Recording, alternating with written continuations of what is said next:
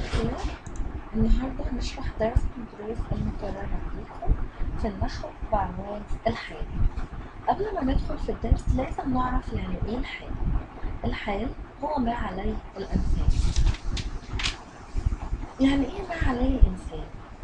يعني دلوقتي وأنا داخلة بقول لكم صباح الخير. كانت تعبيرات وشي بتدل إن أنا لا اما مبتسمة لا إما حزينة.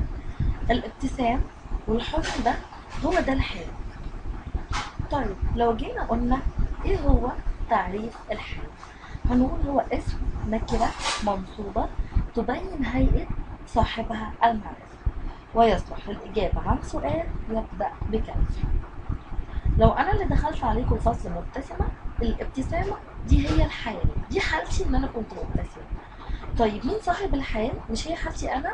يبقى أنا صاحب الحال واشترطنا في التعريف إن صاحب الحال يكون معرفة. طيب تعالوا ناخد أمثلة نتعرف أكتر على الحال. أول حاجة لو جينا قلنا حضر الأستاذ مبتسما إحنا لسه قايلين حالا في التعريف إن الحال اسم نكرة تبين هيئة صاحبها المعرفة. طيب ولسه برضو قايلين إن الحال ما عليه الإنسان. وقايلين إن الحال هو يصلح للإجابة عن سؤال يبدأ بكيف طب دلوقتي أنا لو قلت كيف حضر الأستاذ كلكم هتقولوا لي إيه؟ مبتسمة. يبقى أنا عندي كلمة مبتسمة دي الإيه؟ الحال. طيب تعالوا نشوف هي بينت هيئة صاحبها ولا لأ. آه بينت اللي هو مين صاحبها؟ الأستاذ. طب وصاحبها ده معرفة ولا نكرة معرفة. يبقى أنا عندي لو جيت أعرف مبتسما هقول مبتسما حال منصوبة وعلامة النصب. الفتح طيب تمام. لو جينا قلنا جاء الطلاب مسرورين كيف جاء الطلاب مسرورين طب ليه قلنا مسرورين ما قلناش مسرورون إحنا لسه قايلين في التعريف إن الحال دائما منصوب. يبقى أنا عندي مسرورين عشان جمع مذكر سالم فتبقى منصوبة بالياء. طيب فين صاحب الحال؟ كل صاحب حال أنا عاملاه لون معين لون الأزرق. طب نتأكد إن ده صاحب الحال هلاقي الكلمة معرفة. وإن الحال بينت هيئة صاحبها نفس الكلام لو قلت شاهدت الطبيبات مسرورات. كيف شاهدت الطبيبات؟ حالهم كان إيه؟ كانوا مسرورات. يبقى أنا عندي مسرورات دي. الحال فنقول حال منصوبة بالكسرة لأنها جمع مؤنث سالم وإحنا خدنا في علامات الإعراب إن جمع المؤنث السالم يرفع بالضمة وينصب ويجر بالكسر طيب أنا عندي الحال ده نوع واحد ولا أنواع؟ لا أنواع إيه هي أنواع الحال؟ أول حاجة الحال المفردة ثاني حاجة الحال الجملة ثالث حاجة شبه الجملة طيب النوع اللي إحنا بنتكلم عنه ده إيه؟ ده الحال المفردة. يعني إيه مفردة؟ يعني كانت كلمة واحدة. أي ليست جملة ولا شبه جملة. طيب هتيجي تقولي لي ان مفردة من ناحية النوع ولا من ناحية العدد؟ هقول لك لا هي مفردة من ناحية الإيه؟ نوعها. نوعها مفرد مش من ناحية عددها. لأن أنا عندي مسرورين جمع ومسرورات جمع هل ده يمنعها إنها تبقى حال مفرد؟ لا. أنا قلت نوع الكلمة نفسها مفردة يعني ليست جملة ولا شبه جملة. طيب لو جيت قلت ينافس محمد زميلة متحابين. لو أنا قلت كيف ينافس محمد زميلة؟ هقول متحابين. يبقى أنا عندي متحابين هي الكلمة النكرة وأقول له متحابين حال منصوبة وعلامة نصبها الياء. تمام. في ملحوظة مهمة جدا لازم ناخد بالها منها. إيه هي الملحوظة دي؟ إن أنا عندي صاحب الحال ده ممكن يبقى فاعل زي الأستاذ الأستاذ فاعل مرفوع علامة رفعه الضمة. ممكن يبقى مفعول زي الطبيبات.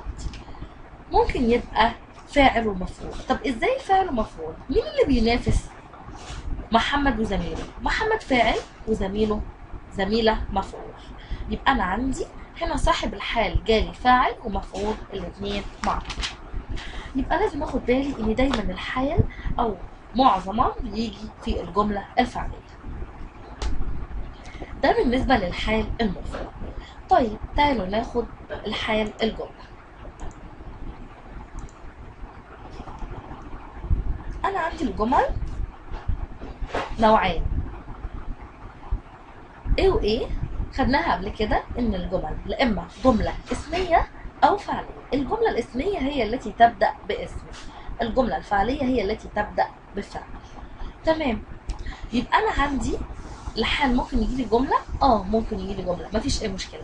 وأحدد أشوف هو اسم ولا فعل. فعل يبقى ده حال جملة. يبقى دي جملة فعلية. مش هقول بقى حال منصوب لا. هنطلعه الأول وهقول لكم نعرفه إزاي. لو قلت دلوقتي رجع الأب من العمل يبتسم. كيف رجع الأب من العمل؟ هنقول يبتسم. يبقى أنا عندي يبتسم دي الايه الحال اللي بينت هيئة صاحبها اللي هو الأب اللي أنا زي ما قلت صاحب الحال ملوناه باللون الأزرق. وكمان لو أنا جيت بصيت يبتسم دي حال مفرد ولا حال جملة؟ يبتسم دي فعل مضارع. يبقى هتبقى تحت بند الحال الجملة. طيب تعالوا نشوف مع بعض. دي جملة إيه؟ مش إحنا قلنا اللي بتبدأ بفعل الجملة الفعلية يبقى دي هقول له طب دي هعربها إزاي؟ هقول له الجملة الفعلية في محل نصب حال طيب دي كلمة واحدة بس لأ دي بترفع ضمير مستتر تقديره هو. يبقى أنا عندي الرابط هنا في الجملة دي هو الإيه؟ الضمير. إيه ده؟ إشمعنى هناك ما قلناش رابط؟ الحال المفرد ما بيحتاجش أي رابط. هو شرطه الوحيد إنه بيطابق صاحب الحال في النوع والعدد. طب إيه الحال الجملة؟ الحال الجملة لازم يشتمل على رابط. طب الرابط ده أنا محتاجه ليه؟ عشان يربطه بصاحب الحال. مين اللي بيبتسم؟ هو. هو مين؟ الأب. يبقى هنا في ضمير مستتر تقديره هو. الضمير ده بيعود على مين؟ عليا أنا ولا على صاحب الحال اللي هو الأب على صاحب الحال؟ يبقى أنا عندي من شروط. الحال الجملة تشتمل على رابط يربطها بصاحب الحال. طب إيه الروابط دي؟ هما نوعين. الضمير سواء كان ظاهر أو مستتر أو واو الحال هنا الرابط كان الضمير. طب لو قلت أقبل الفائز وجهه مشرق. تمام. كيف أقبل الفائز وجهه مشرق؟ وجهه مشرق دي بينت هيئة صاحب الحال. طيب فين الرابط هنا؟ أتأكد منين إن دي حال جملة؟ أول حاجة قبل ما أشوف الرابط أشوف وجه. وجه دي اسم ولا فعل؟ دي اسم. يبقى دي حال جملة. جملة إيه؟ اسمية. طيب أتأكد منين إنها حال جملة؟ أشوف الضمير.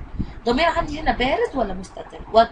يبقى الهاء التانية دي هي دي الضمير اللي بتعود على الفائز اللي هو صاحب الحال يبقى دي الرابط وأقول له والجملة الإسمية في محل نصب حال تمام. لو قلت هجم الجنود والشمس ساطعة.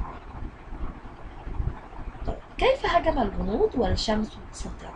الشمس دي اسم ولا فعل؟ الشمس اسم. يبقى دي حال جملة إسمية. بينت هيئة صاحبها اللي هم مين؟ الجنود طب فين الرابط في الجملة دي؟ إحنا لسه قلنا انواع الروابط.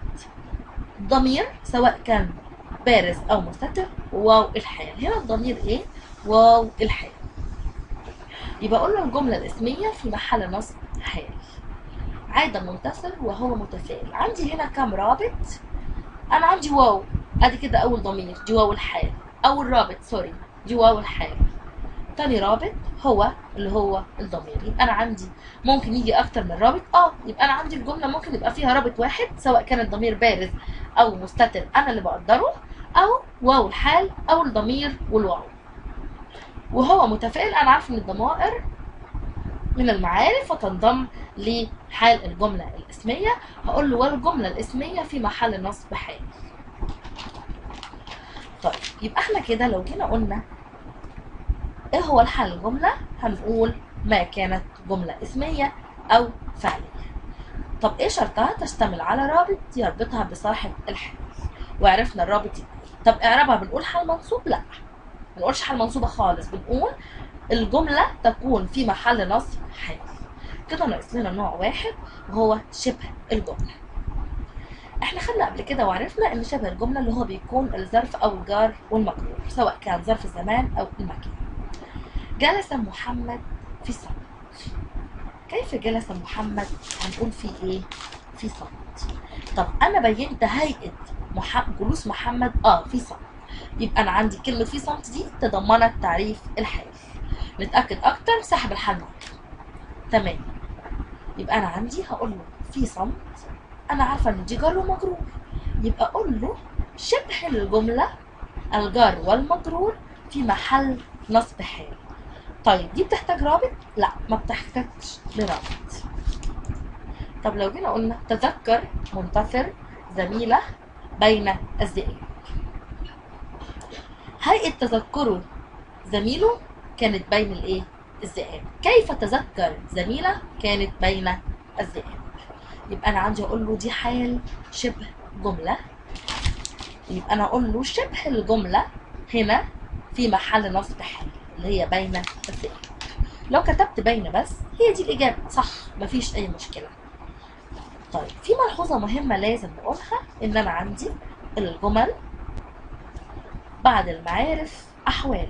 الجمل وأشباه الجمل بعد المعارف أحوال وبعد النكرات صفات.